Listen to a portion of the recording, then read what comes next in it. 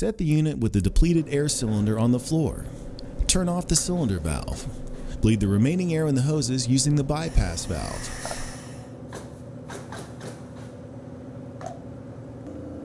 Disconnect the high pressure hose from the cylinder valve.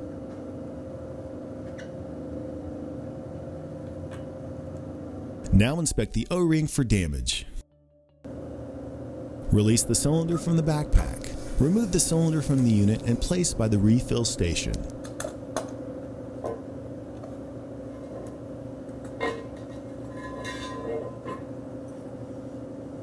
Take a full cylinder from the refill station. Check to make sure the cylinder is full by looking at the cylinder valve.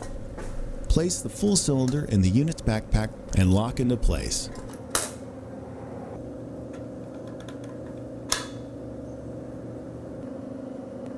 Now connect the high pressure hose to the cylinder and hand tighten only.